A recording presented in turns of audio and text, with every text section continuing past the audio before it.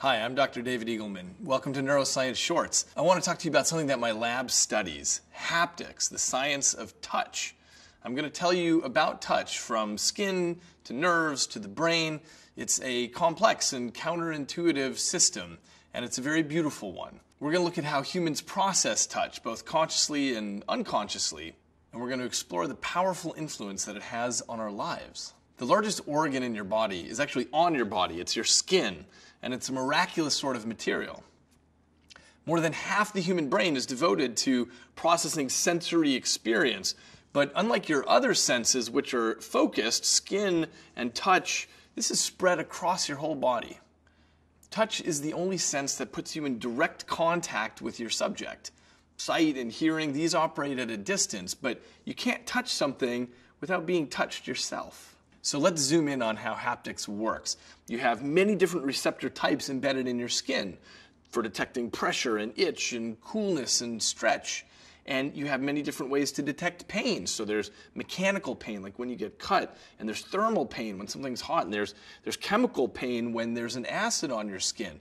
And together, this whole zoo of receptors inside your skin allows you to tell a lot about the outside world in terms of texture and temperature and pressure and roughness and hardness your sense of what's out there is totally dependent on these receptors in your skin. If you inject something to block their operation, then you're not aware anything's out there. That's what we call a local anesthetic. But it only begins with the receptors. That's not the end point. From receptors in your skin, signals travel up nerves to the elevator of your spinal cord and they go up to your brain and they end up at a place called the somatosensory cortex, which is a strip along the outside of your brain about where you would wear headphones. If you were to measure brain activity along this strip, you'd see that every tiny millimeter of it corresponds to some particular part of your body. And you'd see that not all body parts are represented equally. Some parts have more real estate devoted to them, like your hands and your feet and your genitals and your mouth and your lips and your tongue. It's not surprising that we devote so much of our brain's territory to the hands. Humans began to walk upright several million years ago, and that freed up our hands to go and explore the world around us. They became much more important, and so our brain changed accordingly. The situation now is that our fingertips have 2,000 sensory receptors in them, and this gives us such exquisite sensitivity that we can feel little bumps the width of a human hair.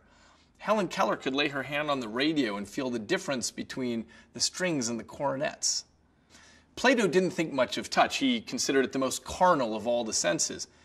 But his student Aristotle had a very different view.